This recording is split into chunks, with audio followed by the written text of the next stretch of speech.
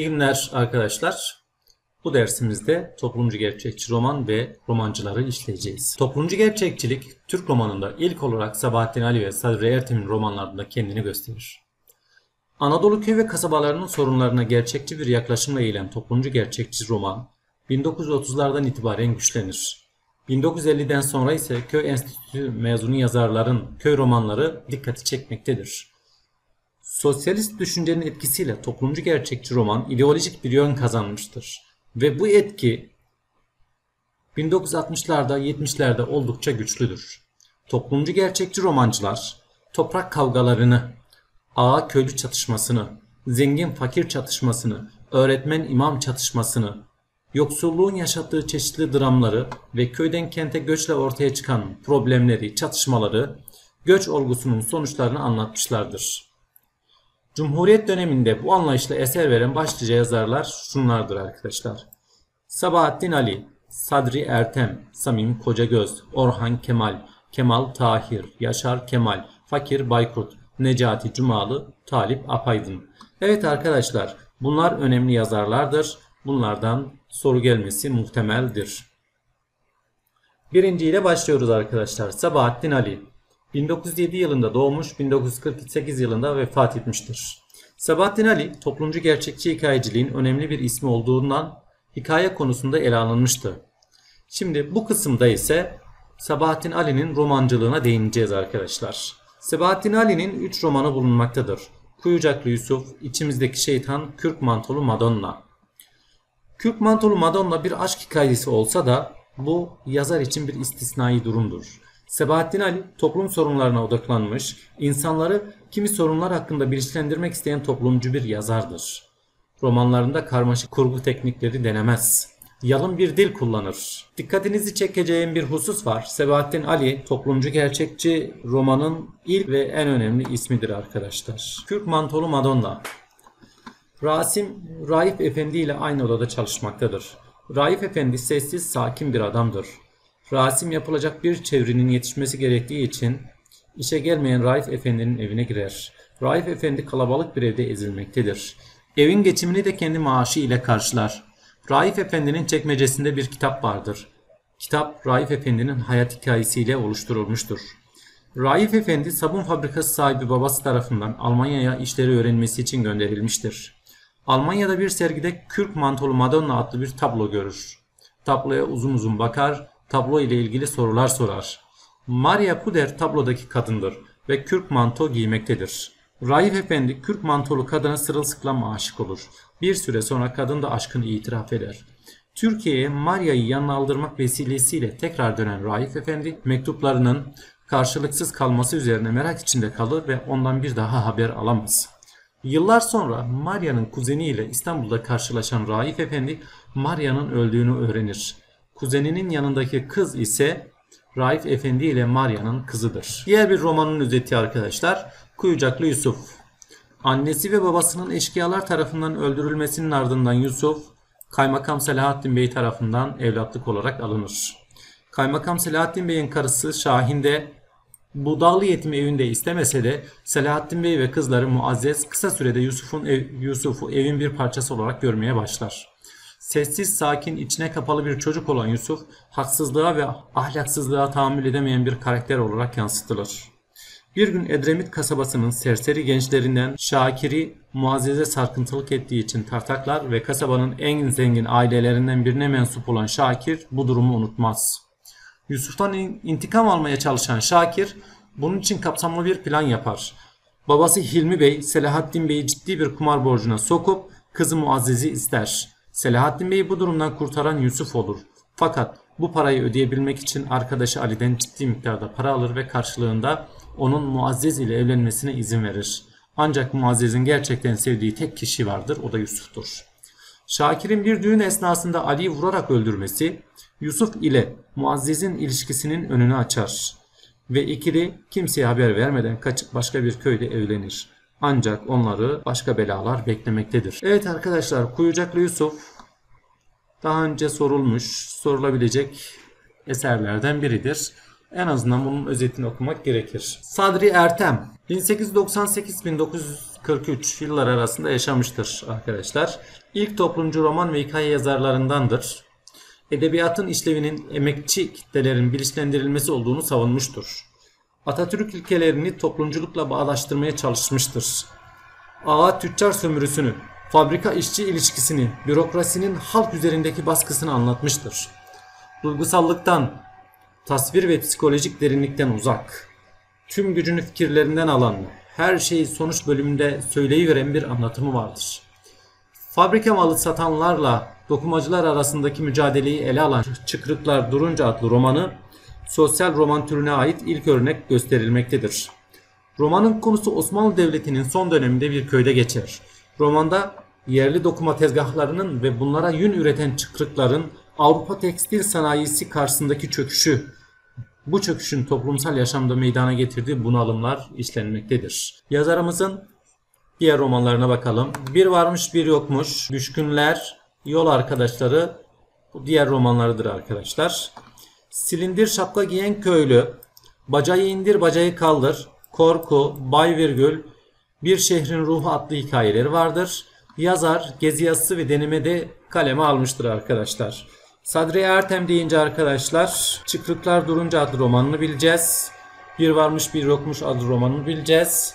Ve hikayelerinden Silindir Şapka Giyen Köylü, Bacayı indir bacayı kaldır, Bay Virgül adlı hikayeleri bilmemiz gerekiyor arkadaşlar. Samim Kocagöz 1916-1993 Köy romanının önemli isimlerindendir.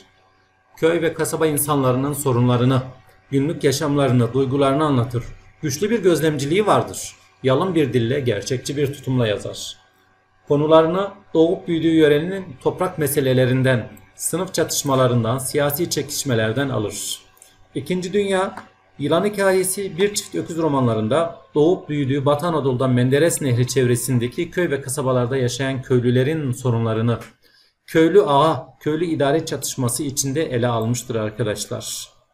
Kalpaklılar adlı romanı İzmir'in Yunanlılar tarafından işgaliyle başlar, Cumhuriyet devriminin heyecanlı öyküsünü anlatır. Dolu Düzgün romanı bu öykünün devamıdır arkadaşlar. Kalpaklıların devamıdır Dolu Düzgün. Sanatçı bir yazarın görevi konusunda şunları söylemiştir. Bir yazar kendi toplumunu, kendi kişisini ne kadar iyi anlatabilirse o kadar başarılı olur. Dünya edebiyatının en ünlü eserleri en yöresel olanlardır. Şive taklidinin tamamen karşısındayım. Ancak yazılarımda hikayenin havasını tamamlamak, tiplerini tam canlandırmak gerekir. O zaman onu konuştururken bu nasıl iş yerine bu nece bir şeklini kullanırım. Yazar ayrıca Bir Karış Toprak, İzmir'in içinde tartışma, Eski Toprak adlı romanlarda kaleme almıştır.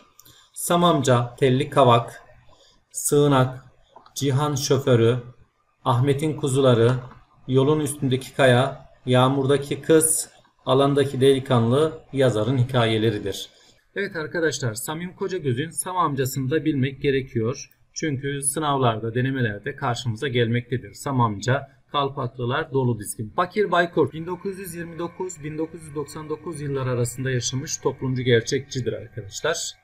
Edebiyatımızda köy sorunlarını toplumcu gerçekçi bir görüşle anlatarak 1950 ve 70 yıllar arasında köy edebiyatının en popüler yazarı olmuştur arkadaşlar. Romanlarında anlattığı konular genellikle ezilen, geri bırakılmış köylülerdir köylüleri devrimci ve halkçı bir bakış açısıyla kaleme almıştır. Bu kısım önemlidir arkadaşlar. Romanlarında kullandığı dil kahramanlarını yerel ağza göre konuşturması son derece başarılıdır. Bu da neyi gösterir arkadaşlar? Realizm ve naturalizmin etkisinde kaldığını göstermektedir. Yılanların Yüce adlı romanında Burdur'a bağlı Karataş köyündeki küçük çıkarlar çevresinde çatışan insanların hayatından gözleme dayalı kesitler sunar. Evet, Yılanların Öcü'nde arkadaşlar sinema filmi vardı. İzlemişsinizdir muhtemelen. İzlemediyseniz de izlemenizi tavsiye ederim. Amerikan sargısında bilinçlenen köylünün kendilerini sömürenlere direnişlerini kaplumbağalarda eğitmenin gayretiyle çorak kamu arazisini ıslah eden Ankara yakınlarındaki Tozak köylülerin topraklarını ellerinden alan yönetimi olan kırgınlıklarını anlatmıştır. Diğer romanları ise Irazcan'ın Dirliği, 10. Köy, Tırpan, Keklik, Kara Ahmet Destanı, Yüksek Fırınlar, Yarım Ekmek, Kocaren yayla sayılabilir. Evet romanlarında da arkadaşlar 10. köye dikkat etmek gerekir. Okumak gerekiyor. Irazcan'ın dirliğini okumak gerekiyor arkadaşlar. Yazarın çok sayıda hikayesi vardır. Louisburg treni, Efendilik Savaşı, Karın Ağrısı, Anadolu Garajı, Gece Vardiyası, Barış Çöreği, Sınırdaki Ölü. Fakir Baykut deyince arkadaşlar köy hayatı gelir akla. Evet köylüleri anlatan eserleri akla gelir arkadaşlar. Yılanların öcünü unutmayacağız. Irazcan'ın dirliğini unutmayacağız. Kaplumbağalar, Amerikan sargısı, 10. köy ve Duisburg treni ile gece vardiyası. Aşağıdakilerden hangisinde bilgi yanlışı vardır? A. Sabahattin Ali roman ve hikayelerinde toplumcu gerçekçi bir anlayış içindedir. Doğru. Çünkü toplumcu gerçekçilerin ilk temsilcisi kimdir? Sabahattin Ali'dir. B. Sadrettin romanları arasında çıktıklar durunca düşkünler sayılabilir. Evet. Vardır bunlar arkadaşlar. C. Samim Kocagöz romanlarında sınıf mücadelesine, köylülerin sorunlarına değinmiştir. Evet bunlar da var arkadaşlar. Samim Kocagöz'de köylülerin sorunları, sınıf mücadelesi. Niye? Çünkü Samim Kocagöz toplumcu gerçekçidir. Bu da var. Yılanların Öcü, Irazcan'ın Dirliği gibi ünlü romanların yazarı Orhan Kemal toplumcu gerçekçiliğin önemli ismidir. Yanlış arkadaşlar. Yılanların Öcü, Irazcan'ın bir Dirliği kimindir? Fakir Baykurt'undur. O yüzden cevabımız D'dir. Fakir Baykurt 1950'lerden sonra yazdığı toplumcu romanlarda köylüleri halkçı bir gözle ele almıştır. Evet doğrudur diyoruz. Evet arkadaşlar geçtik şimdi diğer bir yazarımıza Orhan Kemal. 1914-1970 yılları arasında yaşamıştır. Orhan Kemal gerçek yaşamıyla paralel olarak genellikle yoksul ve sıkıntılı insanların üzüntülerini, aşklarını, mücadelelerini anlatmıştır arkadaşlar. Yazarın kişi kadrosu oldukça kalabalıktır. İşçiler, ırgatlar, suçlu çocuklar, mahpuslar, gardiyanlar, işçi kahyaları, dilenciler, çöpçüler, işten atılanlar, gurbetçiler, simsarlar, emekliler, dullar, ihtiyarlar, ezilen ve sömürülen insanlardır. Orhan Kemal eserlerinde çevreyi şahıslarına uygun olarak oluşturmuş, hayatını zorlukla kazanan insanların yaşadığı muhitleri, hayatını zorlukla kazanan insanların yaşadığı çevreyi mekan olarak seçmiştir. Adana'daki işçi çevreleri, Çukurova tarlaları, İstanbul'un ikinci sınıf sayılan mekanları yani kenar mahalleleri, hapishaneler ve gece kondular. Orhan Kemal'in eserlerinde mekandır arkadaşlar. Öteki toplumcu gerçekçiler gibi Orhan Kemal de nasıl anlattığından çok ne anlattığını önemseyen bir yazar olduğundan üslubu eserlerinin içeriğinin bölgesinde kalmıştır. Baba Evi, Murtaza, Eskici ve Oğulları, Avare Yıllar, Cemile, Bereketli Topraklar Üzerinde, Hanımın Çiftliği, Gurbet Kuşları, Devlet Kuşu, Vukuat Var, Gavurun Kızı, Suçlu, Sokakların Çocuğu, Kanlı Topraklar, Dünya Evi, El Kızı, Yalancı Dünya, Müfettişler Müfettişi, Tersine Dünya, Sokaklarda Bir Kız, Arkadaş Islıkları yazarın romanlarıdır. Evet arkadaşlar, yazarın bazı romanları ne olmuştur? Televizyon dizisi haline getirilmiştir. Mesela Hanımın Çiftliği, Bereketli Topraklar Üzerinde, Baba Evi. İspinozlar adlı bir oyunu bulunan yazarın başta Ekmek Kavgası, Çamaşırcının Kızı, 72. Koğuş, Grev, Kardeş Payı olmak üzere çok sayıda hikayesi de vardır.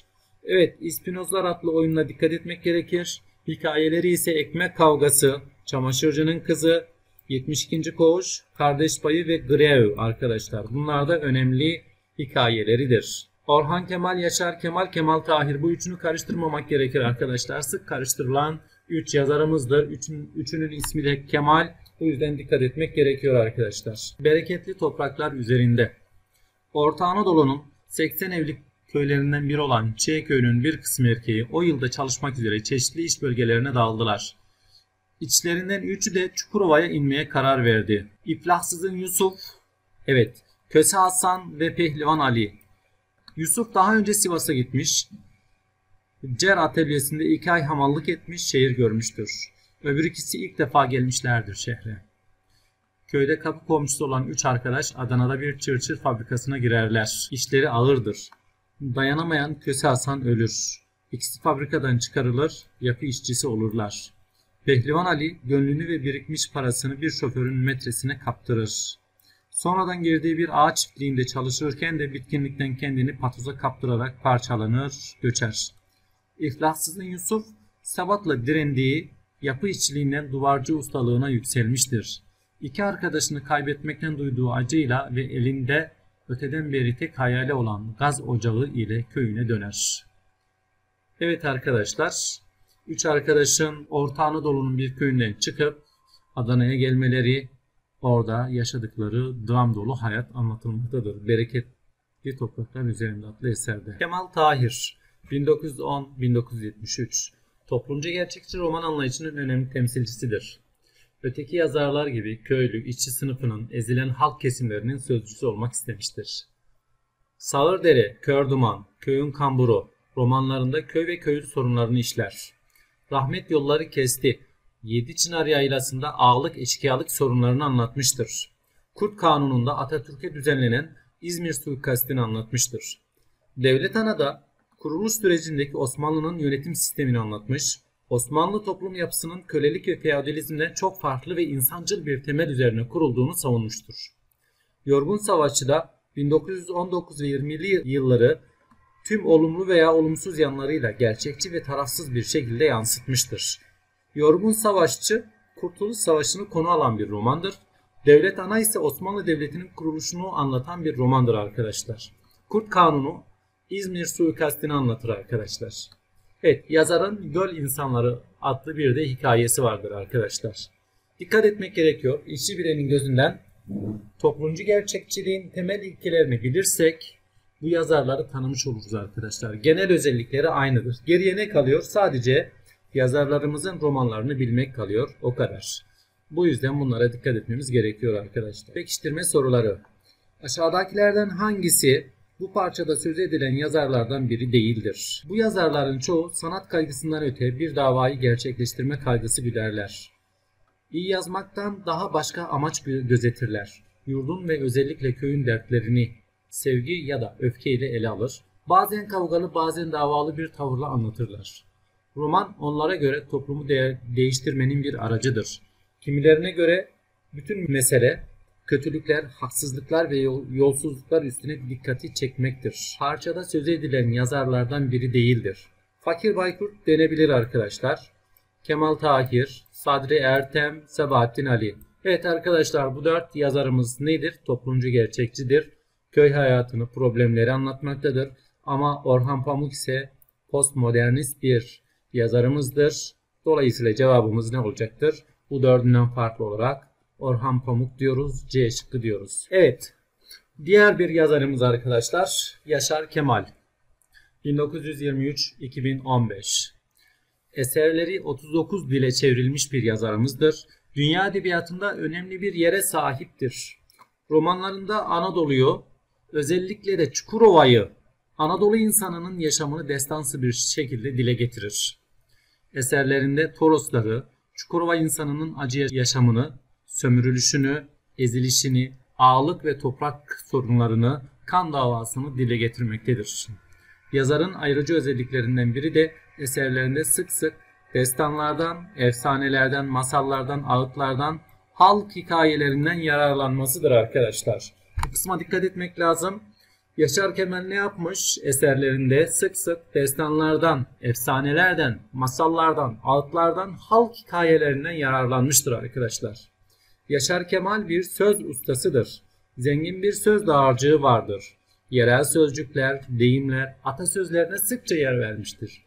Kendine özgü canlı, etkileyici, şiirsel bir anlatımı vardır arkadaşlar. Bu kısımda çok önemlidir Yaşar Kemal ile ilgili. Özellikle romanları birçok dile çevrilen, oyun haline getirilen, sinemaya aktarılan yazar, roman dışında hikaye, röportaj, deneme, fıkra, derleme gibi çok çeşitli türlerde eserler vermiştir. Tek hikaye kitabı ise Sarı Sıcak'tır arkadaşlar. Buna dikkat etmek lazım. Sarı Sıcak. Evet tek hikaye kitabıdır. İnce Mehmet adlı romanıyla uluslararası bir üne kavuşmuştur. İnce Mehmet de bilinen, sevilen bir romandır arkadaşlar. Birçok dile de çevrilmiştir bu romanı. Romanda haksızlığa karşı dağa çıkan bir gencin öyküsü anlatılmaktadır ve İnce Mehmet 4 ciltten oluşmaktadır. Diğer eserlerine bakalım yazarın. Yılanı öldürseler, Çakırcalı Efe, Deniz Küstü, Kuşlar da gitti, Yağmurcuk Kuşu, Al Gözüm Seyreyle Salih, Dağın Öte Yüzü serisi, Orta Direk, Ölmez Otu, Yerdemir Gökbakır. Bunlara dikkat etmek lazım arkadaşlar. Bu üçlemedir. Bir ada hikayesi serisi. Fırat suyu kan ağlıyor baksana. Karıncanın su içtiği. Tan yeri horozları. Çıplak deniz çıplak ada. Evet. Akçasaz'ın Ağları serisi. Demirciler Çarşısı cinayeti. Yusufçuk Yusuf. Kimsecik serisi. Yağmur Kuşu, Kale Kapısı, Kanın Sisi, Efsane Derlemeleri, Romanlar, Ağrı Efsanesi, Üç Anadolu Efsanesi, Bin Boğalar Efsanesi. Evet arkadaşlar Yaşar Kemal deyince Dev Efsanesini bilmemiz gerekiyor. Üç Anadolu Efsanesini bilmemiz gerekiyor. Bin Boğalar Efsanesini bilmemiz gerekiyor arkadaşlar. Yazarımız evet Yaşar Kemal ilk defa Nobel Edebiyat Ödülüne aday gösterilen Türk edebiyatçısıdır arkadaşlar. Bu yönüyle önemlidir. Daha önce Yaşar Kemal ile ilgili sorular geldi. Şimdi de gelebilir arkadaşlar. Aziz Nesin 1916-1995 Aziz Nesin sadece Türk edebiyatının değil, dünya edebiyatının da tanınmış mizah sanatçılarındandır. Türk mizahını dünyaya tanıtan genç mizah yazarlarının ortaya çıkmasını sağlayan yazarımızdır. Aziz Nesin Çağdaş Türk gülmece edebiyatının kurucusu, hikaye, roman, oyun yazarı, şair, gazeteci, köşe yazarı, yayımcı, eğitimci ve senaristtir. Eserlerinde toplumdaki ah, haksızlık, zulüm gibi sosyal ve siyasal kötülükleri kınayan konulara değinmiş, en sıradan olaylardan bile hikaye konusu çıkarmış, toplum yaşamının bütün abesliklerini, komikliklerini, tuhaflıklarını eserlerine malzeme olarak seçmiştir. Gerçekçi bir anlayışla eser veren yazar, yapıtlarında çok fazla abartıya kaçmış, tekrarı çok olan masal tekerlemelerini andıran cümlelere çokça başvurmuştur. Sade bir dille başarılı bir üslupla yazar. 1972'de Nesin Vakfı'nı kurmuştur. Türkiye'de ve başka ülkelerde yayınlanacak kitaplarının, oynanacak oyunlarının her türlü telif hakkını bu vakfa bırakmıştır. Bu vakfın amacı her yıl alınacak 4 kimsesiz ve yoksul çocuğu ilkokuldan başlatarak yüksekokulu, meslek okulunu bitirinceye ya da bir meslek edininceye dek her türlü gerek ihtiyaçlarını sağlayarak barındırmak, yetiştirmektir. Yazarın 120'nin üzerinde kitabı vardır. Bunların çoğu hikaye yayımlamadığı eserleri oğlu Ali Nesin tarafından yayımlanmaktadır. Yazarın romanları şunlardır. Kadın olan erkek, Gol Kralı, Said Hopsaid, Gol Kralı Said Hopsaid, Erkek Sabahat, Saç kıran, zübük, şimdiki çocuklar harika, tatlı betüş, yaşar ne yaşar ne yaşamaz, surname tek yol. Hatta yazarın bazı romanları ne olmuştur arkadaşlar? Sinema filmi olarak oynanmıştır. Zübük mesela. Evet. Aziz Nesin'in diğer toplumcu gerçekçilerden farkı nedir arkadaşlar? Mizahi yönünün ağır basmasıdır. Pekiştirme soruları. Parçada numaralanmış cümlelerin hangisinde bilgi yanlışı vardır? Yaşar Kemal, Sabahattin Ali, Kemal Tahir toplumcu gerçekçi yazarlardandır. Doğru. 1960'tan sonra ağırlıklarını hissettirmişler, roman alanında başarılı olmuşlardır. Bu sanatçılar sanat kaygısından öte bir davayı gerçekleştirme kaygısı güderler. Doğru. İyi roman yazmaktan başka amaçlar güderler. Yurdun ve özellikle köylünün dertlerini bazen kavgalı, davalı, bazen sevgi ve öfke derinliğine inmek suretiyle işlerler. Doğru. Yaşar Kemal İnce Mehmedi ile Sabahattin Ali Kuyucaklı Yusuf ile Kemal Tahir ise devlet anasıyla köylünün sıkıntılarını dile getirmeye çalışır. Doğrudur arkadaşlar. Cevabımız ne olur arkadaşlar? B olur. Yazdığı toplumcu şiirlerle isim yaptıktan sonra mizah yazarlığına geçen Rıfat Ilgaz, 1940'a kadar romantik, 1940 sonrası yazdıklarında ise toplumcu gerçekçi bir özellik göstermiş ve bu, kaşa, bu kuşağın en tanınmış sanatçılarından olmuştur. Hem özel yaşamında hem edebi çizgisinde toplumcu gerçekçi bir anlayışa sahiptir. Hikaye, mizah, top, roman gibi üç türü karıştırarak yazdığı gülmece eserleri yanında şiirler, romanlar, anılar, çocuk kitapları kaleme alan sanatçının en tanınmış eseri Hababam sınıfı serisidir. Romanları arasında Bizim Koğuş, Karatma Geceleri, Sarı Yazma, Karadeniz Kıyıcığında, Meşrutiyet Kıraathanesi, Yıldız Karayel, Hababam sınıfı icraatın içinde sayılabilir. Hikayelerinden bazıları Don Kişot İstanbul'da, Saksağının Kuyruğu, Nerede o eski ustalar? Evet arkadaşlar, Rıfat Ilgaz deyince Hababam sınıfını unutmamak gerekiyor. Ve karartma gecelerini Halikarnas balıkçısı 1886-1973 Yazılarında çok sevdiği Bodrum'un antik çağlardaki ismi olan Hal Halikarnassos'tan esinlenerek Halikarnas balıkçısı takmadığını kullanmıştır. Asıl adı Cevat Şakir Kaba Ağaçlı'dır. Bir hikayesinde halk savaş aleyhine kışkırttığı gerekçesiyle 3 yıl Bodrum'a sürgüne gönderilir ancak 1,5 yıl sonra cezası affedilmiştir. Fakat o İstanbul'a dönmez, çok sevdiği Bodrum'da kalır arkadaşlar.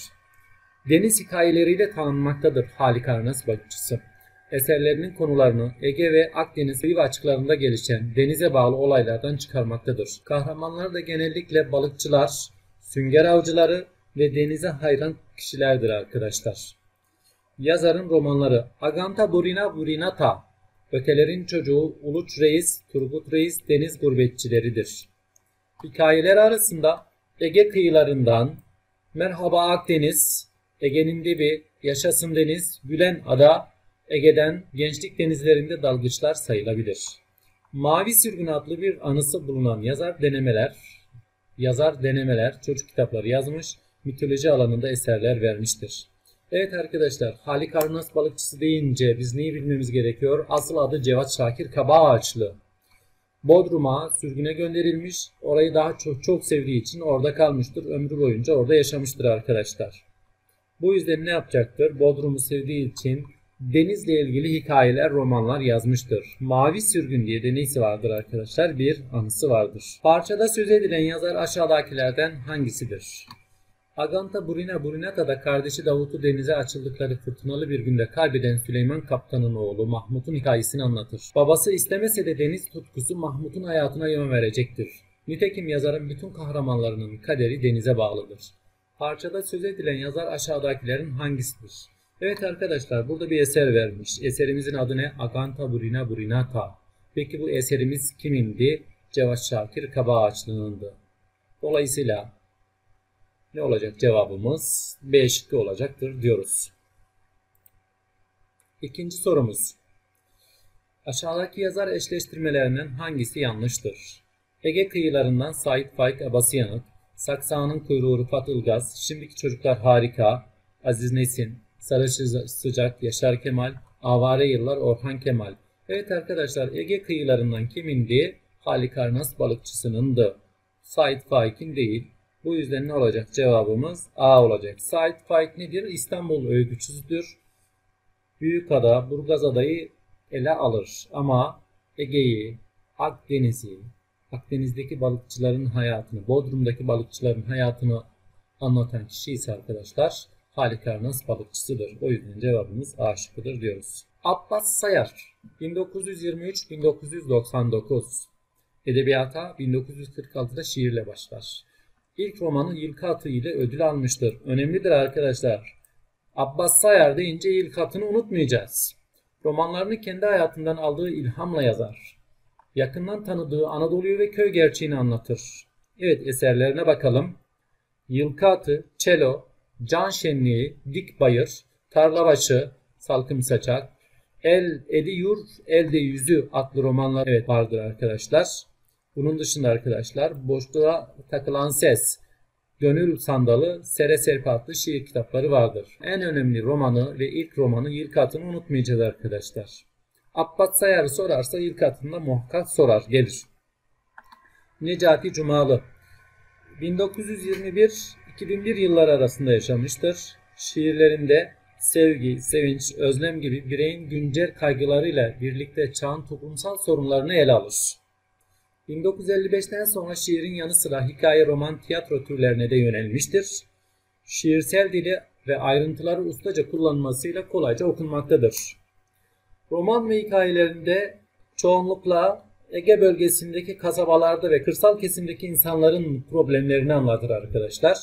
Hikaye, roman ve oyunlarının bazıları sinemaya uyarlanmıştır. Yazarın çok sayıda şiiri vardır. Yalnız Kadın, Değişik Gözler, Susuz Yaz, Ay Büyürken Uyuyamam, Kente inen Kaplanlar, Dila Hanım, Revizyonist, Yakup'un Koyunları, Aylı Bıçak, Uzun Bir Gece gibi hikayelerinin yanında Tütün Zamanı, Yağmurlar ve Topraklar, Aşkta Geçer, Acı Tütün, Üç Minik Serçem, Viran Bağlar adlı romanları vardır. Mine, Nalınlar, Derya Gülü, Boş Beşik, Ezik Otlar, Buremri, Susuz Yaz, Tehlikeli Güvercin, Yeni Çıkan Şarkılar adlı yazarın oyunlarına örnektir arkadaşlar. Evet, Necati Cumalı deyince arkadaşlar Susuz Yaz, Tütün Zamanı, Acı Tütün, Boş Beşik, Ezik Otlar adlı oyunlarını unutmayacağız. Tütün Zamanı, Acı Tütün, Susuz Yaz. Bunlar nedir arkadaşlar? Romandır. Bunlara dikkat etmemiz gerekiyor. Evet. İşi bilenin gözünden toplumcu gerçekçiliğin konusunu iyi öğrenmek gerekir. Eğer bu akımın özellikleri iyi bilinirse yazarlar daha kolay öğrenilir. Evet, Necati Cumalı 2018 AYT sınavında soruldu arkadaşlar. Acı Tütün adlı romanının anlatıldığı bir paragrafla tanıtıldı. Toplumcu gerçekçilerin herhangi biri veya ikisi bu şekilde sorulabilir arkadaşlar. Romanın özetini verir, romanın da ismini verir.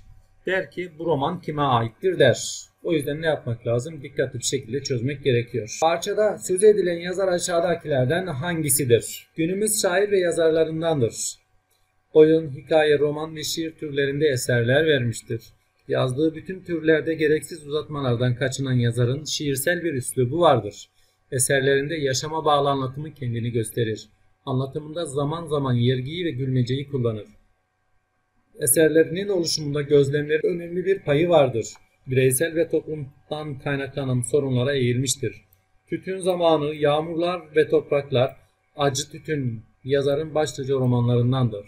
Evet, parçada söz edilen yazarımız kimdir? Necati Cumalı'dır arkadaşlar. İkinci sorumuz, bu yazarların ortak özellikleri arasında aşağıdakilerden hangisi yoktur? Roman türünde eserleri vardır. Doğru. Cumhuriyet döneminde eser ve yazmışlardır. Doğru. Ağırlıklı olarak tarihi konuları işlemişlerdir. Dursun. Toplumcu gerçekçi anlayışın temsilcileridir. Evet. Eserlerinde üsluptan çok içeriğe önem vermişlerdir. Evet bu da doğru arkadaşlar. Hangisi yoktur? Ağırlıklı olarak tarihi konuları işlemişlerdir diyemeyiz arkadaşlar. O yüzden cevabımız C şıkkıdır.